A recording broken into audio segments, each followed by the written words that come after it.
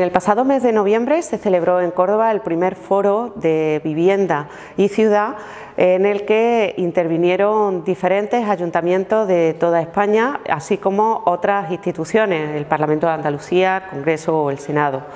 En este foro se aprobó la denominada Declaración de Córdoba, una declaración que lleva el nombre de nuestra ciudad y que es eh, una declaración pionera en las políticas de vivienda, pues supone un salto cualitativo en la consideración de la vivienda desde el ámbito privado al ámbito público, de forma que sea eh, un elemento básico dentro del estado de bienestar, un derecho tutelado y protegido por los poderes públicos al mismo nivel que la sanidad o la educación. En este sentido, la declaración eh, contenía un llamamiento a distintos sectores sociales, instituciones, colectivos, personas individuales para su adhesión a la misma y también para hacer aportaciones enriqueciéndola. El Pleno del Ayuntamiento de Córdoba eh, se adhirió a esta declaración y eh, hace suyo este mandato, este llamamiento a las entidades sociales. Por eso, desde Vincorsa hemos habilitado